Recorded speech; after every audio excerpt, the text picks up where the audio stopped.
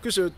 皆さんこんにちは加藤です。今回はあの虹プロジェクトを手掛けている JY パークっていうんですかね。彼が日本で男性アイドルも手掛けようとしてる件についてお話ししたいなと思います。ちょっとね驚きましたね。で最近僕あの JO1 の動画出してないと思うんですけど、まあ、正直ねもう JO1 波に乗ってるしこのまま伸びていくだろうと。でジャニーズと JO1 で、まあ、いい感じでねあの競い合っていくんじゃないかなと思ってたんだけどまさかのねあのなていうのかな宿敵っていうのかな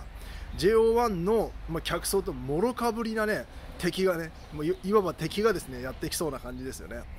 で今本当にねあの虹プロジェクトっていうんですか勢い乗ってますんで、まあ、おそらく男性版の方もめちゃめちゃ人気になると思います。で本当にね、J、JY パークっていうんですか名前よくわかんないですけど虹プロジェクトとの男性版と JO1 そして、えー、ジャニーズ、ね、このね3つの団体がですねめちゃめちゃ戦い